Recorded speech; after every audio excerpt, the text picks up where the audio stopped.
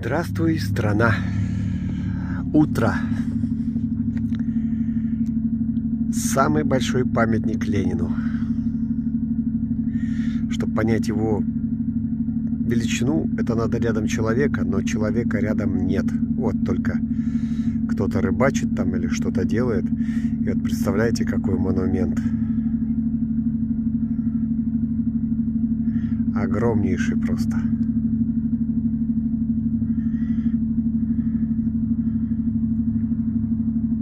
Мы заходим в Волгу, друзья.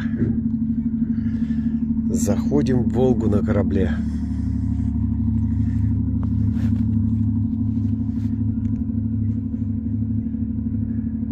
Рыбаки. Вот я там вижу.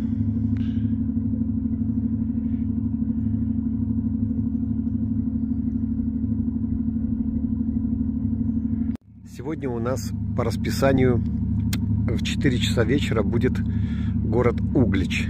Там я должен зайти в Озончик. Я, кстати, на Углич все это заказывал. Там что-то там было там суп какой-то в пакетиках, так на всякий случай, дорожный. И еще некоторые вещи. Так что 4 часа вечера. Ну или дня по-другому. Но дело в том, что это... Весь день будем на корабле. Вон сколько рыбаков. О, кошмар. Весь день будем на корабле, поэтому я буду монтировать видео. Сейчас буду выкладывать то, когда я садился на корабль.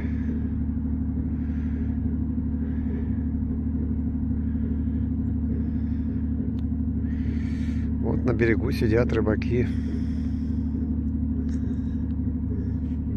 И солнце встречное.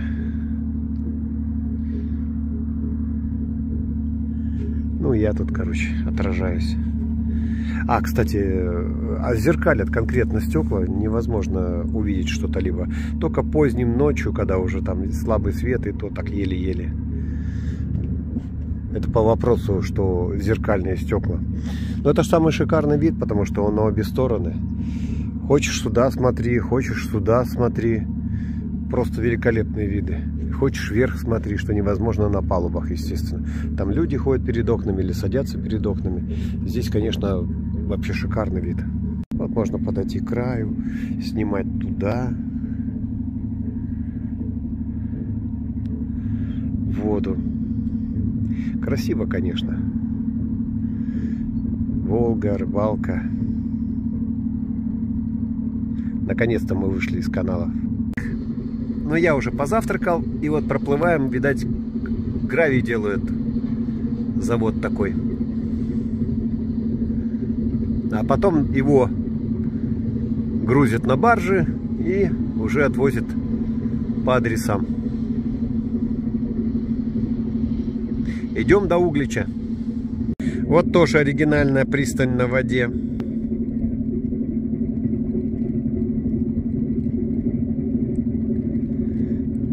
Общага, так сказать, для рабочих, наверное.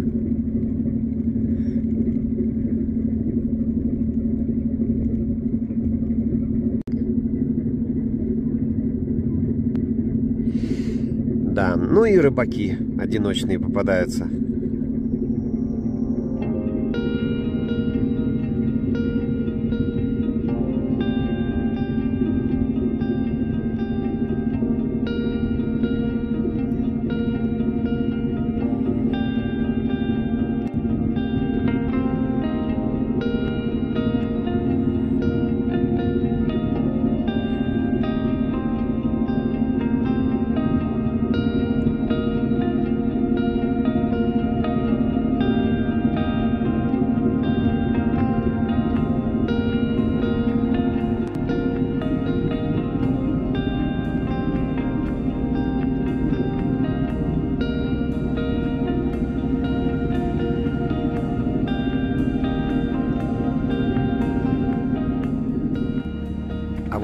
Калязин. Мы как-то раз были вот там на берегу, давно еще выходили, когда было другое путешествие. Там на берегу мы наблюдали на воде церковь. Ну, часовню. И сейчас она вот здесь вот видна. И вот та тарелка космическая, друзья мои. Мы туда ездили в путешествие еще на Александре Некрасовом. Да. И вот эта тарелка, мы видели, как ее поднимали, опускали. Ну, а церковь, она вот она. С воды мы, конечно, ее ни разу не видели.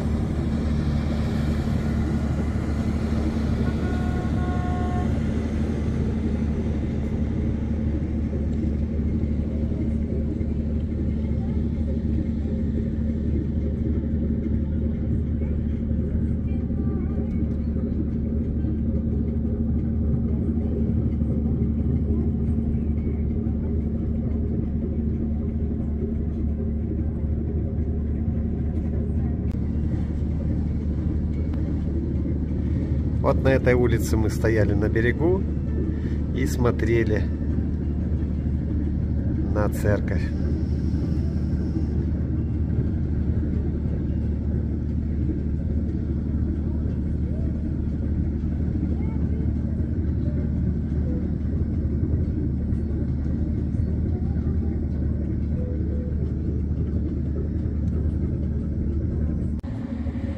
Мы идем параллельно ну, чуть-чуть обгоняя эту баржу. Что она везет, я отсюда не вижу. Ну, что-то везет.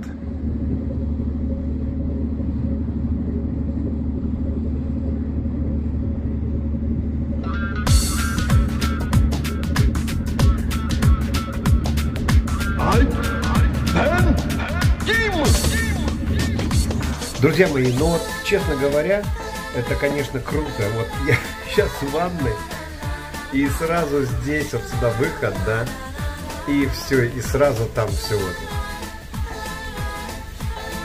Океан, море, простор. Вообще шикарный вид. Вот. И ванна. Джакузи. Но это просто для сердца приятно вообще, друзья мои. Класс! Класс! Вот сейчас вот мы идем мимо берегов живописных вот этих всяких различных домиков. Я думаю, если это частные домики с причалами на Волге, ну, просто мелькнула мысль стоимости этих домов. Это ведь катастрофа. Это ведь не просто там какой-то домик простой. Он так с виду может быть и простой, но место живописное, выход к реке. Трудно сказать, кто здесь живет, какая стоимость этих домов. Если вам известно, дорогие подписчики, то напишите в комментарии ради любопытства. А так места красивые, конечно, и для рыбалки, и для отдыха. Вот тоже дом стоит у воды в живописном месте.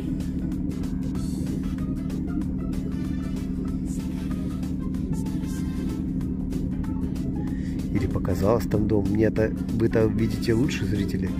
Да, домик, домик, да. Тут еще одно наблюдение. Смотрите, берег ведь укреплен.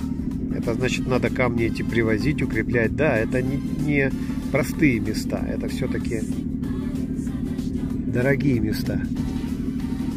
Может даже какие-нибудь заповедные. Итак, долго или коротко, мы доехали до Углича, но с опозданием. Должны были в 16.00 уже пришвартоваться, но дело в том, что мы очень ночью стояли долго в шлюзовании, там корабль ждали. Там за лесом видно углическая ГЭС. Вот отдельный отвод воды. А здесь мы сейчас будем проходить шлюзы, то есть мы будем опускаться. Опускаться на другой уровень воды. Вот если вот это вот, тут 12 метров глубины сказали сейчас по радио, то есть вот если вдруг это ГЭС, не дай бог, там прорвало, то я хочу сказать, что там Углич будет практически под водой весь. Углич с этого места уже хорошо виден.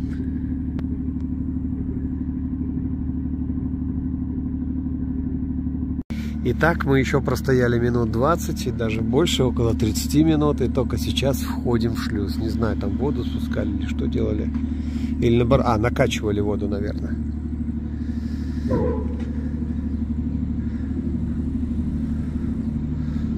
Да, шлюз старый, конечно.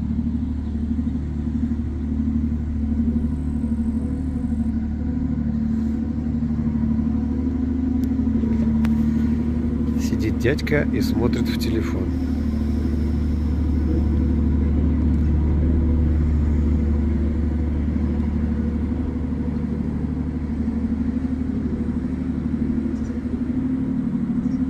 Главный по тарелочкам.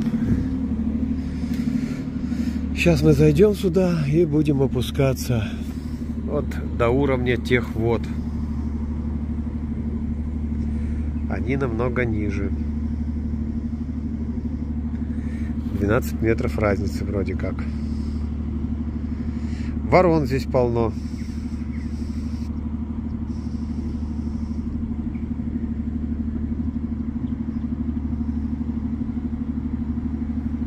Может быть это галки, но вообще, я не знаю, они каркали вроде, когда летали. Тут мне не видно издалека, только на экране видно хорошо. Да, вот сейчас пролетели, и они каркали, вороны. И среди них затесалась там чайка которая ходит и кричит и и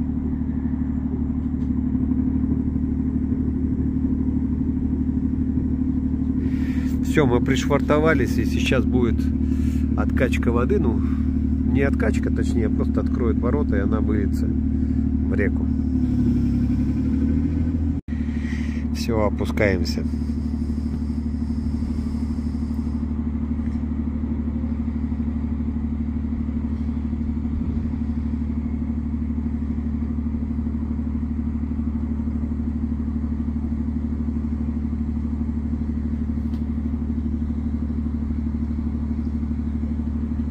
ну мы в Угличе, опускаясь вниз. Наш корабль.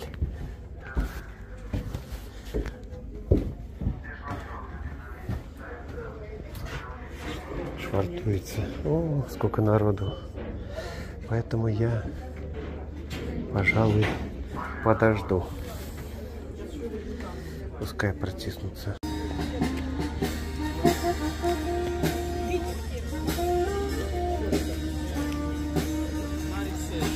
Но тут люди собираются, кто на какую экскурсию, тот к такому флажку и подходит. Музыканты нашего теплохода. Нет, это не музыканты нашего теплохода, это, это вот здесь люди зарабатывают.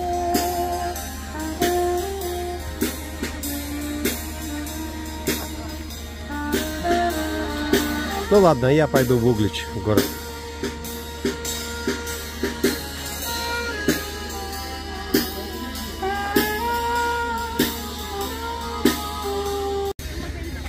Моя каюта. Самая большая каюта на этом корабле. Друзья, вот так. Эта улица, когда я шел, здесь она была вся такая сломанная, но тут кусок асфальта, ну, плитки нет, но все-таки отремонтировали. Поставили новые щиты на окна. Это уже прогресс. В общем, Углич город небольшой, Заметил здесь подмену GPS конкретно. Валила куда-то 50 километров отсюда. Причем на всех телефонах и планшетах, какие только возможно. То есть не знаю, с чем это связано. Вот магазин пятерочка здесь есть. Зайду.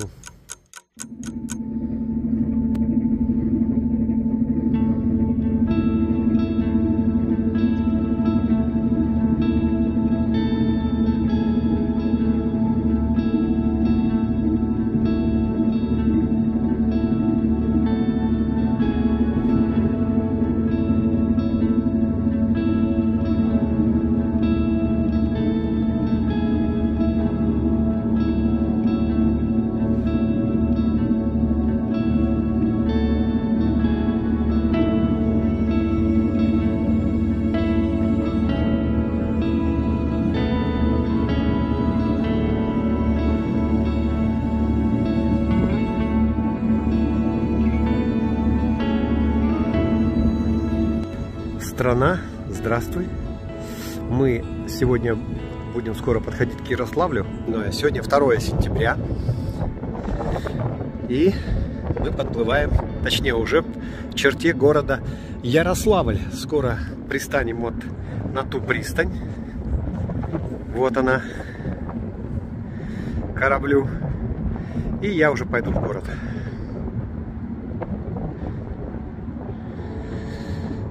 Да. Город Ярославль. Один из любимых мною городов, кстати. Это вот мы пристаем к кораблю. Будем проходить через него. Корабль Тихий Дон. Вот.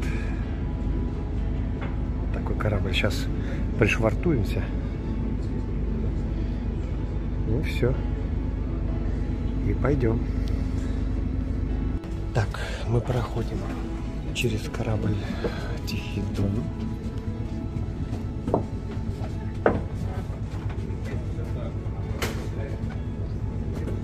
Чтобы взглянуть сразу внутреннюю отделку корабля.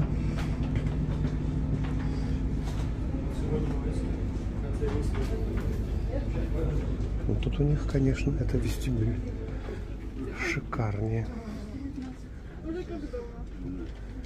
Да, тут лифт присутствует.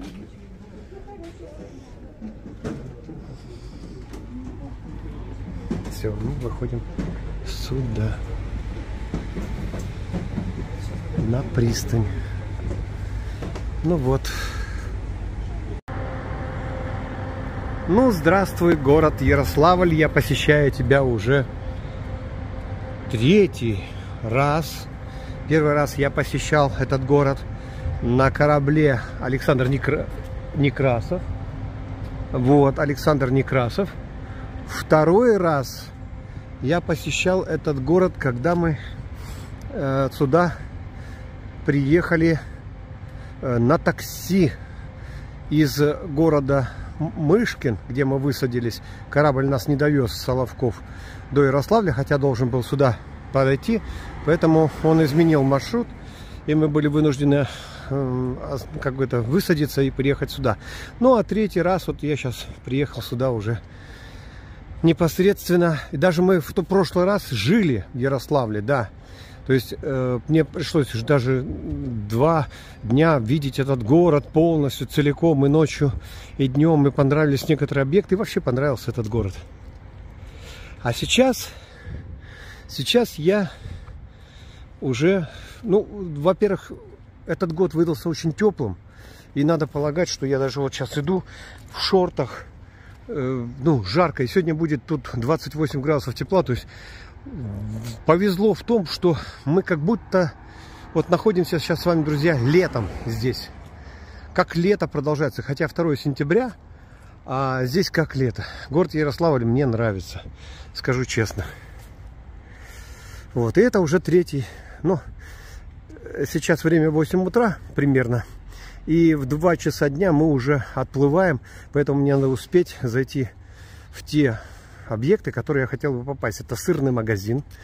Показать вам сырный магазин. Я не знаю, в прошлый раз я снимал достаточно ли много там, но в этот раз покажу.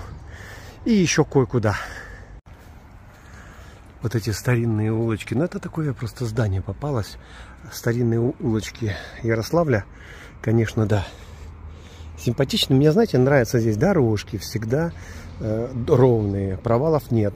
То есть даже вот элементарно в социальном плане самокатная линия здесь очень хорошо развита, и ты спокойно можешь тут ехать на самокате. То есть все бордюры, все сделано, в принципе, для того, чтобы ты спокойно мог ехать где-то. То есть это цивилизация. Ярославль это цивилизация.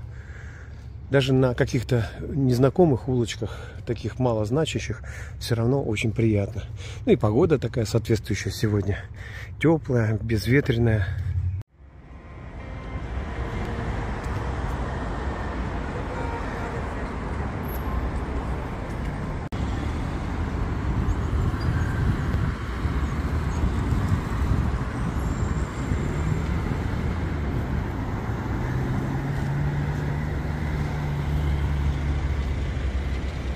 Видите, все вот эти бордюры, они подпилены здесь, чтобы легко можно было коляску катить, и для инвалидов, и на самокатах, и все такое прочее.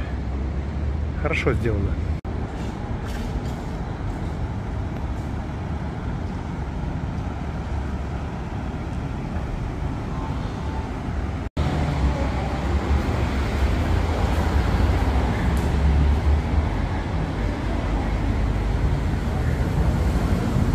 Итак, магазин сырная биржа. Я вот только что э, был в секонд-хенде. Это мой любимый магазин, признаюсь.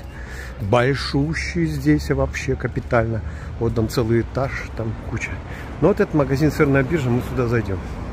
Он уже открылся 10 часов сейчас. Так. Здесь у нас всякие разные. А, да, да, да. Вот уже и забыла, что надо. Так что А не знаю где.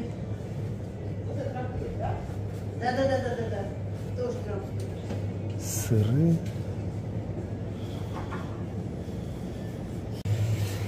Так, я хочу попробовать сыр с плесенью конкретно.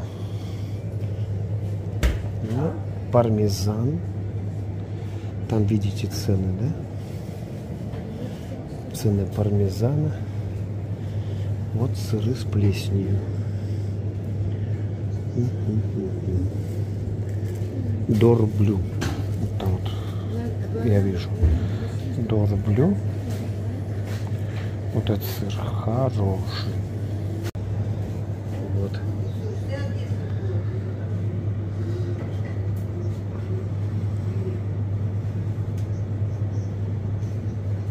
Сейчас сыров здесь куча всяких разных. Чего только тут нету. Корольков. Сыры всех городов. Мантурово.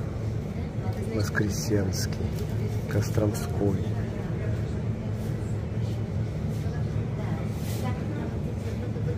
Чеддер.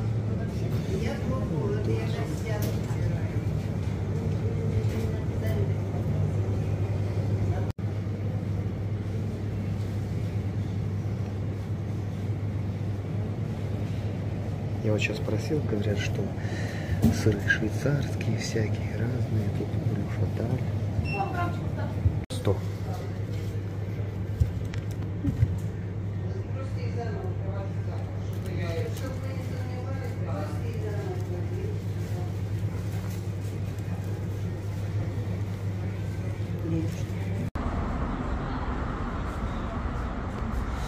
Я сижу в уличном кафе.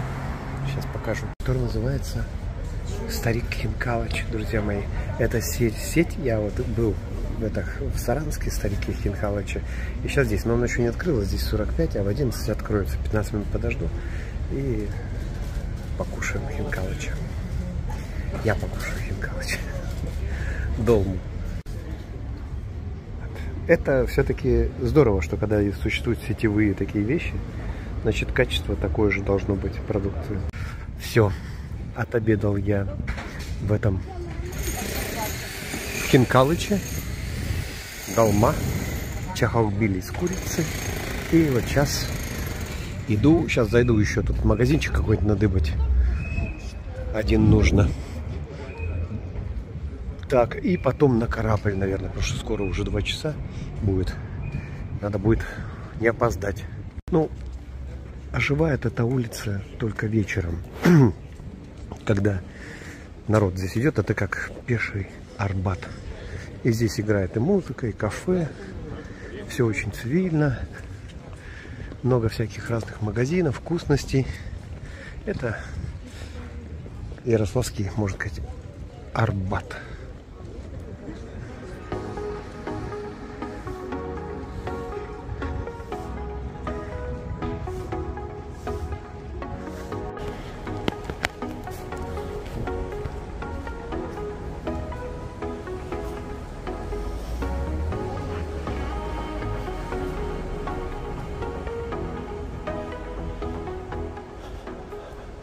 Как-то вот приятно по улицам Ярославля ходить.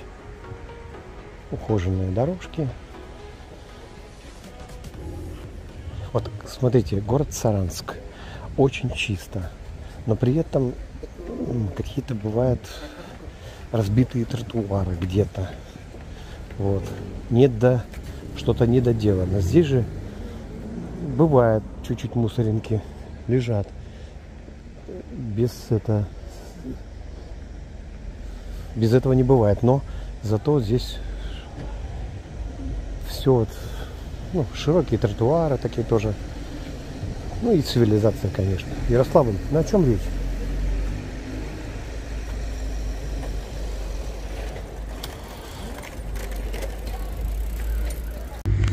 Тихий Дон стоит, а за ним должен стоять наш теплоход Илья Муромец.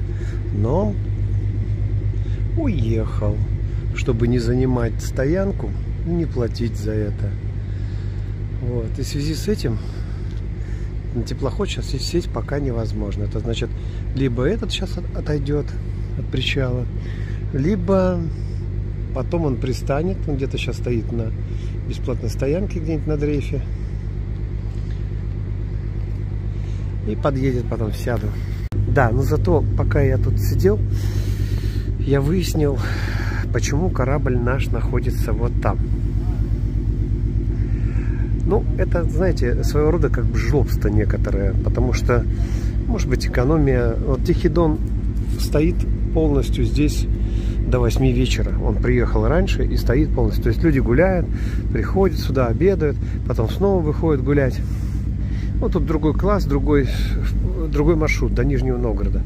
А наш засранец, убежал туда потому, что стоянка в Ярославле, например, стоит для судов на причале 45 э, рублей погонный метр. Ну, учитывая, что у него там 150 метров, допустим, да, длина, то тогда ему это обойдется в 30 тысяч рублей примерно. И вот он за 3 часа, и он здесь находится 5 часов. То есть он приехал, выгрузился, заплатил. За час уехал туда, на якорь. Потом он приедет, загрузится за час и сэкономит 3 часа стоянки. То есть 30 тысяч рублей он сэкономит. Ну, там, может быть, они по-своему там решают эти коммерческие дела. Но в итоге э, страдают туристы, потому что туристы, кто пришел раньше, ни скамеек здесь нифига нету. Сидят на чем попало. Вот, на бордюрном камне вот так вот сидят, понимаете?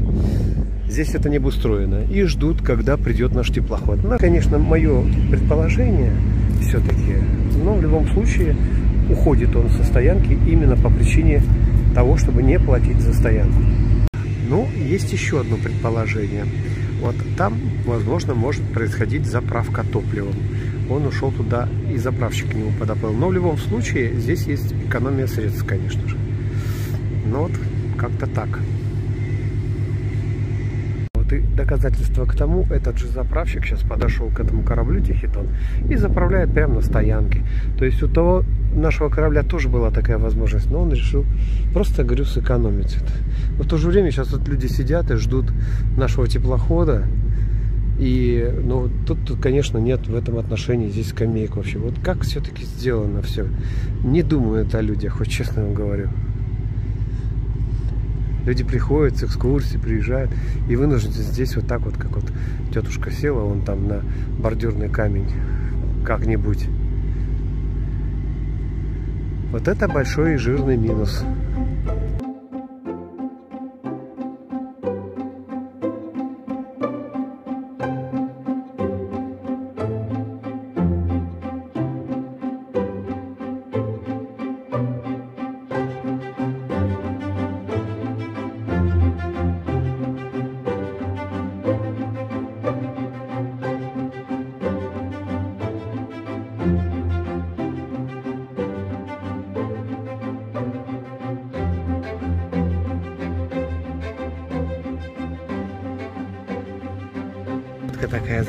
Поднимаюсь. Я, говорит, плыву, вы мне мешаете плыть вообще. Сейчас я кораблю поплыву что-нибудь съем. Съем что-нибудь у корабля. Может, что бросит.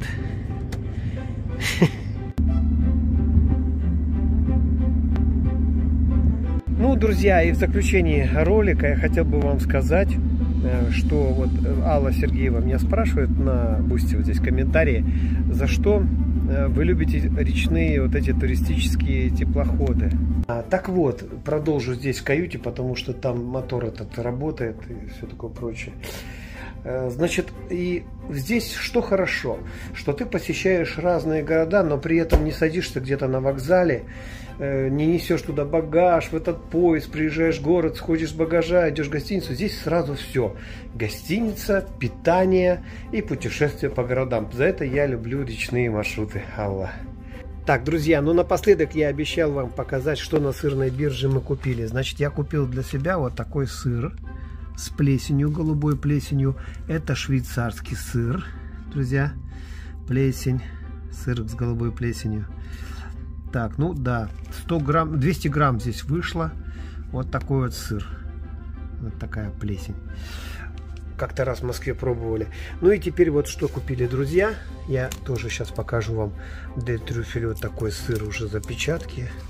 Вот такой сыр, друзья, Кострома, 200 грамм. Вот его состав, если что, ставьте на паузу.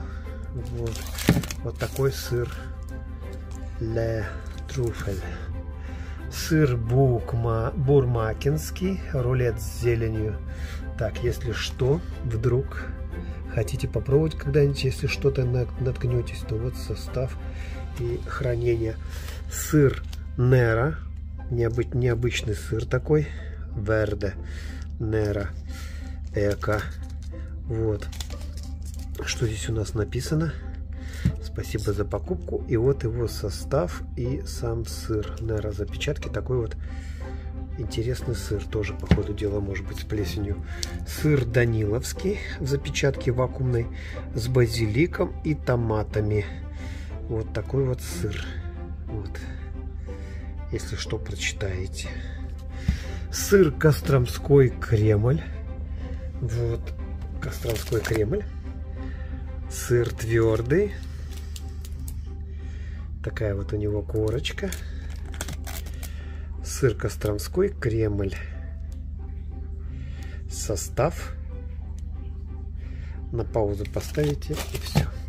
И еще сыр бурмакинский, рулет с чесноком. Если там рулет с зеленью был, то это рулет с, чесно... рулет с чесноком.